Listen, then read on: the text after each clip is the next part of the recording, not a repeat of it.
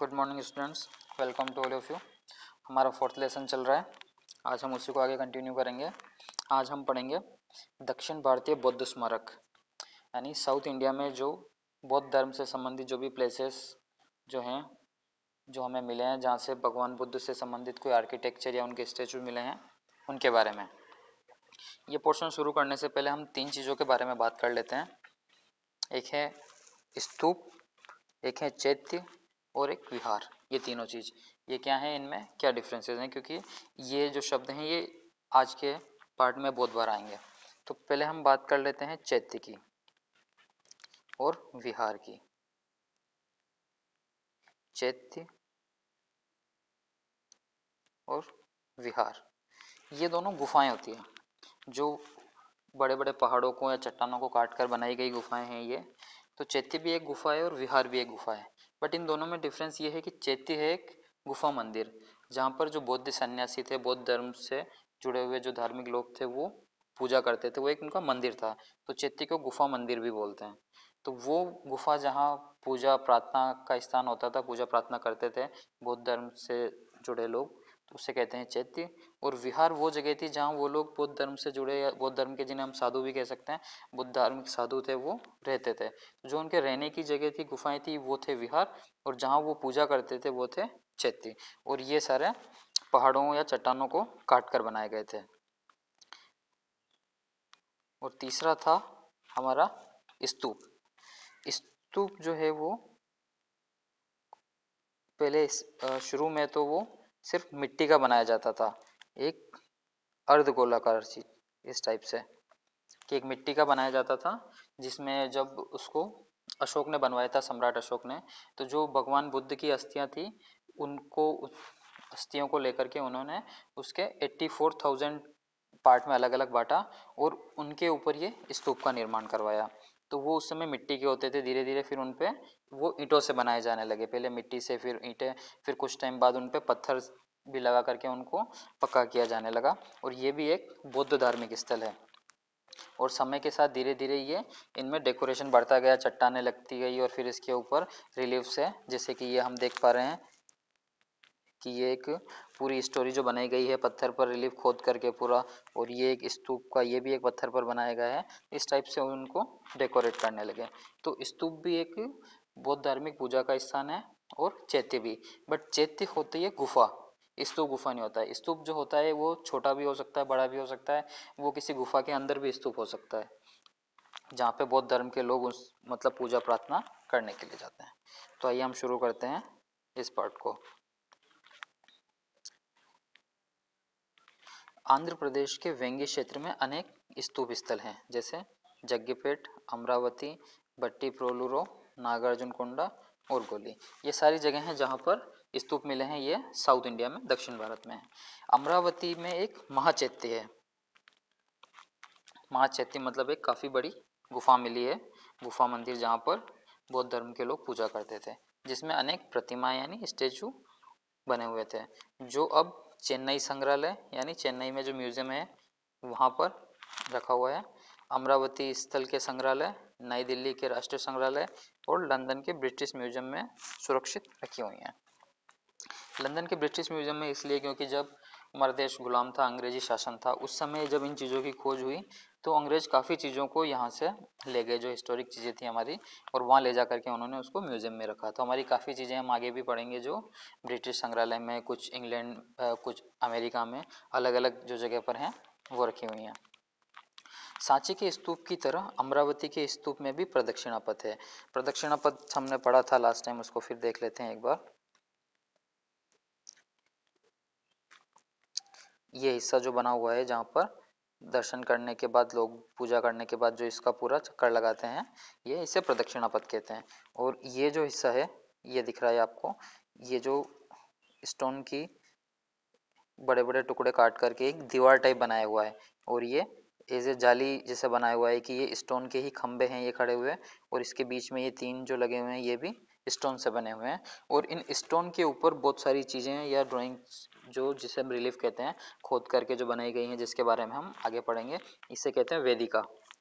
तो वेदिका को ये नॉर्मल जो प्लेन स्टोन होते थे, उस स्टोन पे स्टोन को एनग्रीव करके और उन पे जो सारी भगवान बुद्ध के पूर्व जन्म से संबंधित या उनके उस जन्म की, उनकी स्टेचूज जो थी, वो सारी इनके ऊपर डेकोरेशन के लिए बनाई गई थी। तो ये है प्रदक्षिणा पथ जहाँ पर लोग चलते थे, घूमते थे। और वेदिका ये, उसके चारों तरफ़ एक दीवार समझ सकते हैं उस टाइप की बनाई हुई थी। ऊपर ये है हर्मिका जो स्तूप के ऊपर बनती है और सबसे ऊपर छत्र जो, जैसे मंदिर में भी हम देखते हैं कि कहीं झंडा लगाया होता है, कहीं छत्र लगाया होता है, उस टाइप से इसमें भी लगा हुआ है।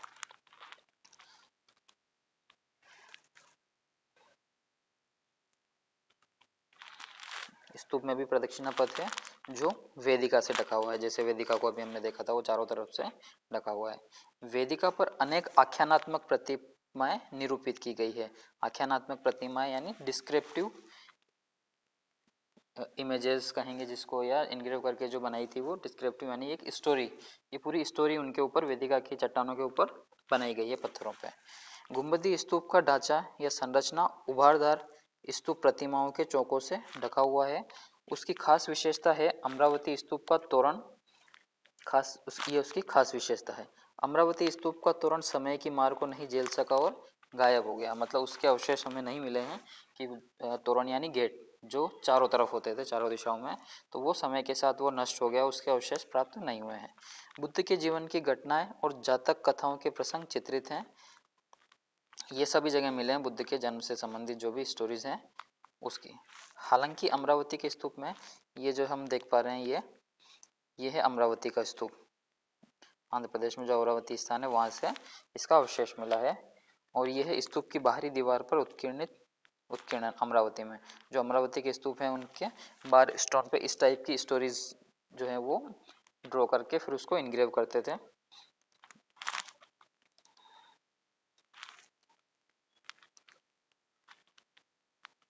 पूर्व तीन शताब्दियों के निर्माण कार्य दृष्टिगोचर होते हैं अमरावती स्तूप में।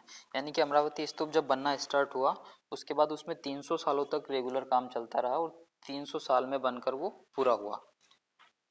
लेकिन इसका सर्वोत्तम विकास ईसा की पहली और दूसरी शताब्दी में हुआ कि उसका जो सबसे अच्छा जो उसमें काम हुआ था वो ईसा की दूसरी यानी ईसा के बर्थ के बाद फ़र्स्ट एंड सेकंड सेंचुरी में। सांची की तरह इस स्तूप में भी पहले चरण में बुद्ध की प्रतिमाएँ डोल के चौकों और कई अन्य स्थानों पर उकेरी गई। संयोजन के भीतरी अंतराल में आकृतियों को नाना रूपों, मुद्राओं, आसनों जैसे सामने से, पीछे से, आगे से और एक तरफ़ से दिखाया गया है। कि उनमें स्टेचूज जो उन्होंने बनाए हैं वो अलग अलग तरीके से अलग अलग पोस्चर में बनाए हैं। प्रतिमाओं के चेहरों पर तरह तरह के गंभीर हाव भाव देखने को मिलते हैं। आकृतियाँ पतली हैं और उसमें गति शरीर में तीन भंगिमा त्रिभंग रूप में दिखाई गई हैं। सांची की प्रतिमाओं की तुलना में इन प्रतिमाओं का संयोजन अधिक जटिल है। यानी कि जो सांची में बना हुआ था, जो काम हुआ था सांची में, वो थोड़ा आसान या जैसे हमने उस समय देखा था कि वो जैसे कोई स्टोरी बन रही थी तो उसमें इतने कैरेक्टर्स नहीं थे कैरेक्टर कम थे और कम कैरेक्टर में ही उन्होंने बनाने की कोशिश करी थी। लेकिन जो यहाँ जो बनी थी, जो उन्होंने रिलीफ जिसे कहते हैं इनग्रेव करके जो स्टोरीज बनाई थी, उसमें उन्होंने काफ़ी सारे कैरेक्टर यूज़ किए कि जो मेन मुख्य कैरेक्टर या जो कोई राजा का अगर उनको बनाना है तो उसके साथ में उन्होंने काफ़ी सारे लोग, जुलूस चलते हुए इस टाइप से उन्होंने बनाए हैं जटिल का मतलब उलझा हुआ हार्ड थोड़ा। संयोजन अधिक जटिल है। रेखिकता में लोज आ गया है और प्रतिमाओं में दर्शाई गई गतिशीलता निश्चलता को दूर कर देती है। उभारदार प्रतिमाओं उद्वृद्धियों यानी कि रिलीफ जो हम देख रहे हैं वो, में तीन आयामी अंतराल को तैयार करने का विचार उभरे हुए आयतन, कोणीय शरीर और जटिल अतिव्याप्ति के रूप में कार्यान्वित किया गया है। किंतु रूप की स्पष्टता पर अधिक ध्यान दिया गया है भले ही आख्यान में उसका आकार और भूमिका कैसी भी रही हो, यानी कि जो स्टोरीज वो जो स्टोन पे इनग्रेव कर रहे थे, बना रहे थे, उसमें चाहे वो छोटा हो या बड़ा बट उसमें वो क्लियर दिखे, इस पर ज़्यादा ध्यान दिया गया है। आख्यान का चित्रण बहुतायत से किया गया है। इन आख्यानों में बुद्ध के जीवन की घटनाओं, जातक कथाओं के प्रसंगों को प्रस्तुत किया गया है। तो मोस्टली जो भगवान बुद्ध से जुड़े हुए जो भी स्टोरीज हैं, हर जगह वही बनाई गई हैं, जो चाहे उनके पहले के जन्म से जुड़ी हो या फिर जब भगवान बुद्ध का जो जन्म था, उस समय की जो प्रमुख घटनाएँ हैं, चाहे वो हो सभी इन्हीं चीज़ों का वर्णन इनमें किया गया है। फिर भी उनमें ऐसे अनेक जातक दृश्य पाए जाते हैं, जिनको पूरी तरह पहचाना नहीं जा सका है। काफ़ी स्टोरीज ऐसी हैं जिनको अभी तक पहचाना नहीं जा सका है कि ये कौन सी स्टोरी है। जन्म की घटना के प्रस्तुतिकरण में ये हमने पहले भी पढ़ा था इससे, पहले वाले पार्ट में, कि एक रिलीफ जो हमने देखा था उसमें भगवान बुद्ध की जो माँ है वो लेटी हुई है और उनको सपने में हाथी आता है वो, उसको फिर बताया गया यहाँ, कि शैया पर लेटी हुई हैं, जिनके चारों ओर दासियाँ खड़ी हैं और संयोजन के ऊपरी भाग में एक छोटे हाथी को दिखाया गया है। यह महारानी माया देवी के स्वप्न का प्रस्तुतिकरण है। एक अन्य उद्वृत्ति में बुद्ध के जीवन से संबंधित चार घटनाएँ दिखाई गई हैं। इससे ये पता चलता है कि आख्यानों को नाना रूप में चित्रित किया गया है। बुद्ध के जीवन की चार जो सबसे प्रमुख घटनाएँ जब भगवान बुद्ध घर छोड़ के जाते हैं, जब उनको फ़र्स्ट जब उनको ज्ञान प्राप्त होता है, या जब वो उनका पहला उपदेश देते हैं, या लास्ट में जब उनकी मरणासन अवस्था जो है वो, ये बुद्ध के जीवन की चार प्रमुख घटनाएँ हैं, वो भी काफ़ी जगह इनग्रेव करके बनाई गई है। ये हम देख रहे हैं फलक नागार्जुन कुंडा फलक मतलब होता है साइड, कि स्टोन की एक साइड है, उस पर ये इनग्रेव करके उन्होंने ये बनाया है।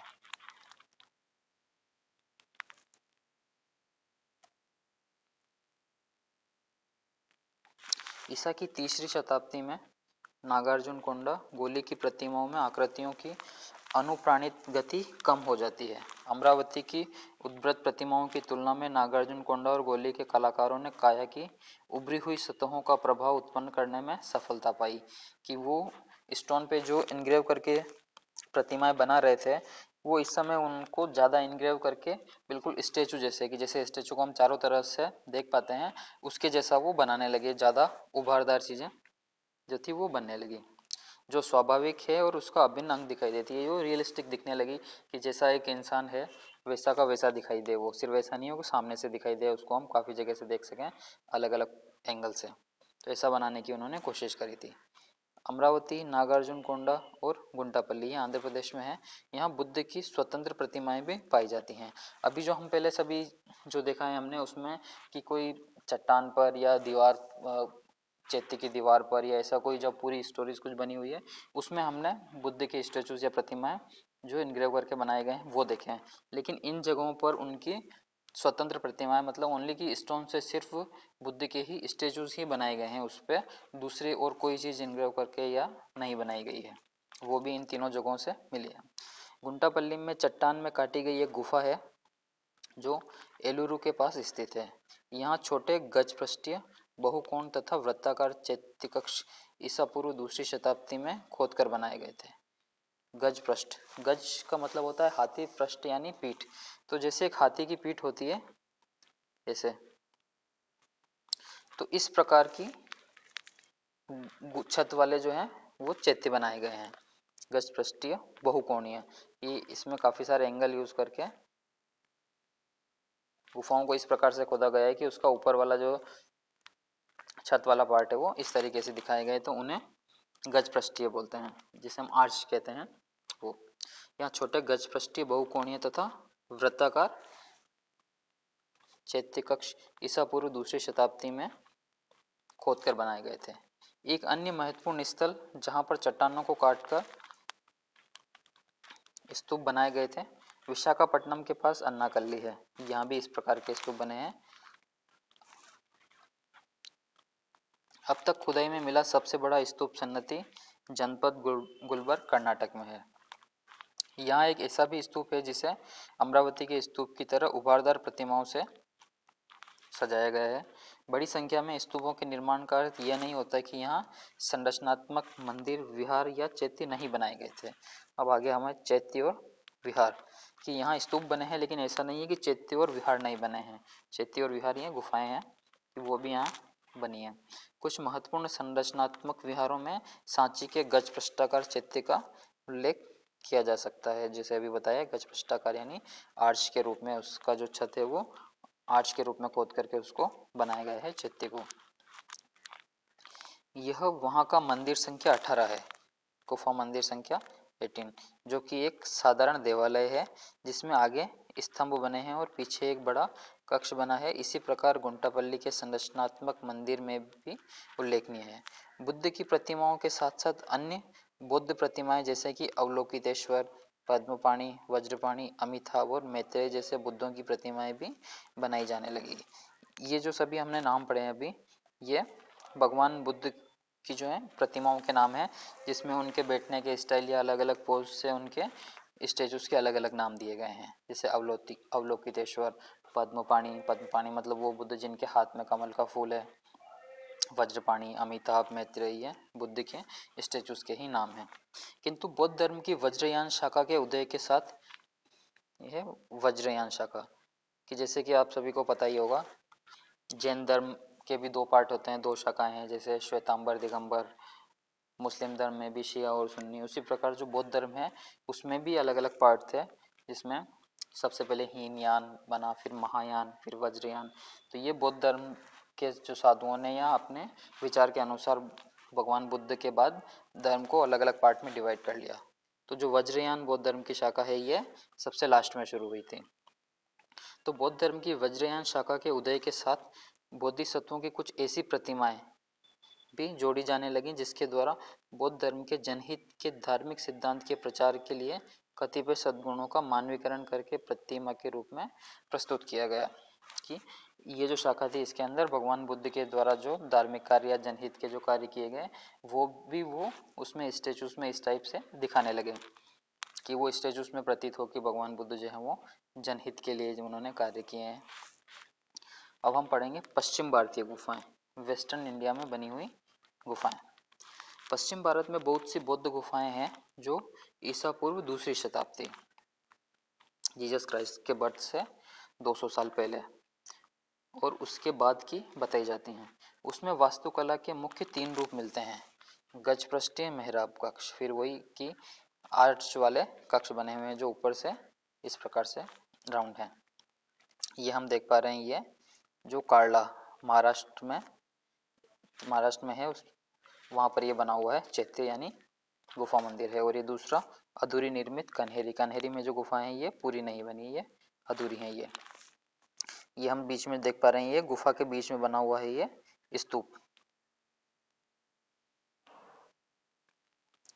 और ये सारे पहाड़ को काट कर ये पिलर्स खंबे बनाए गए हैं और ये ऊपर का पोर्शन है और इसके ऊपर जो ये हम छत देख पा रहे हैं। इस तरीके की बड़ी बड़ी गुफाएँ जो थी, वो बनाई जाती थी, जिसमें वो लोग पूजा करते थे और रहते थे। तो ये वो गुफा है जहाँ वो लोग पूजा करते थे, इसमें स्तूप भी बना हुआ है। तो ये है चैत्य गुफा।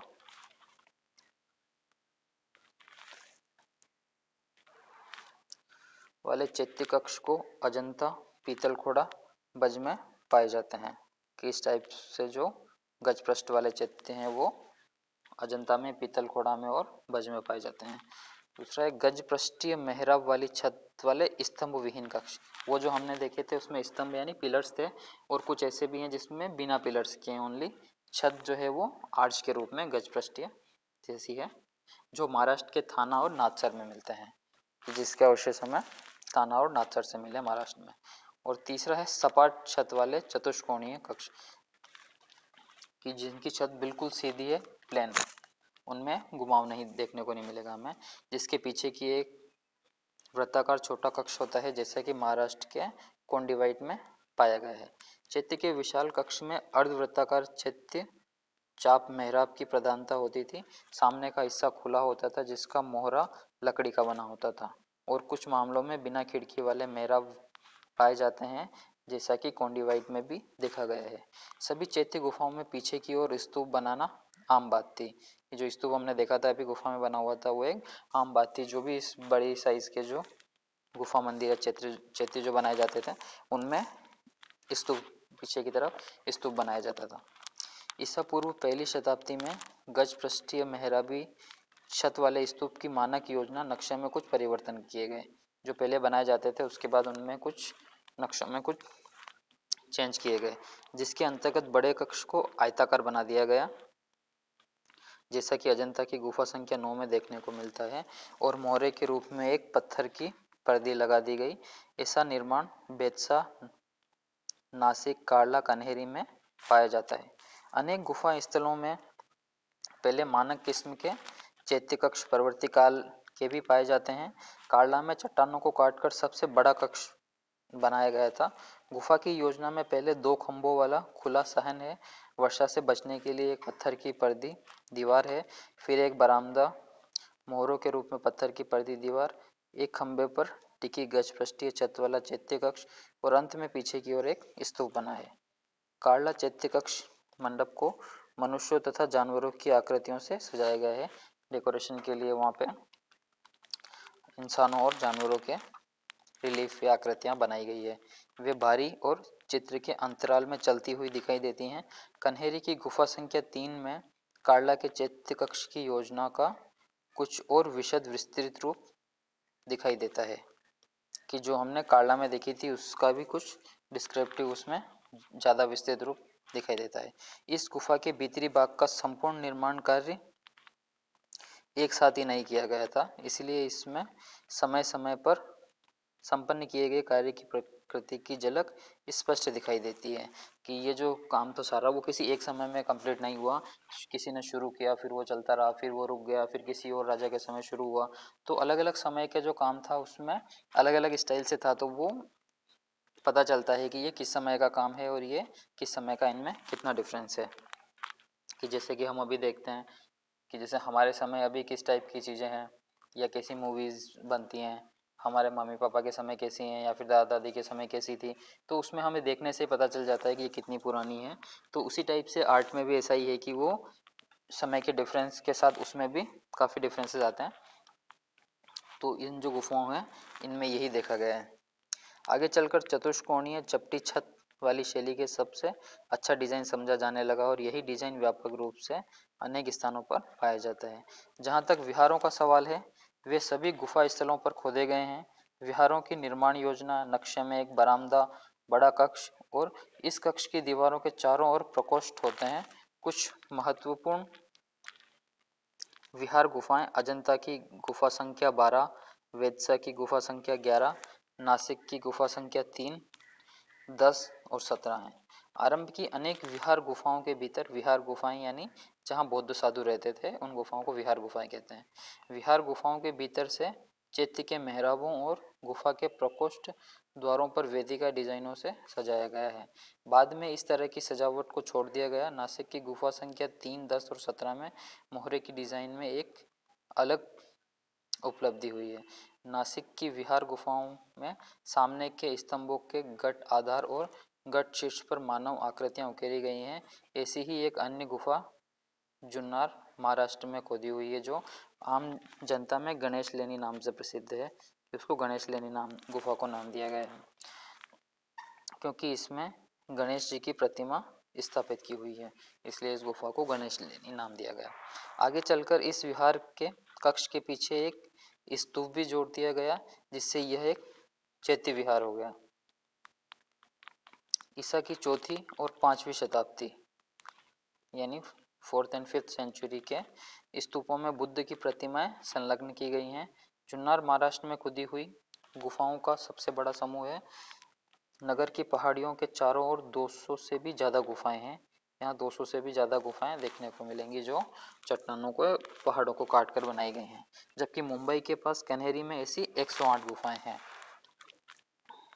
गुफा स्थलों में सबसे महत्वपूर्ण स्थल है अजंता, पीतलखोरा, एलोरा, नासिक, बज, जुन्नार, कार्ला और कनेरी की गुफाएँ। इसमें अजंता, एलोरा और कन्हेरी की जो है वो आज भी फल फूल रही हैं कि इनके अवशेष जो है वो ज़्यादा मात्रा में मिले हैं। आज भी हम इनको काफ़ी अच्छी स्थिति में उपलब्ध हैं कि जो हमें इनको देख पा रहे हैं। तो आज की क्लास हम यही ख़त्म करते हैं। नेक्स्ट आगे की क्लास में हम पढ़ेंगे। अजंता गुफाओं के बारे में।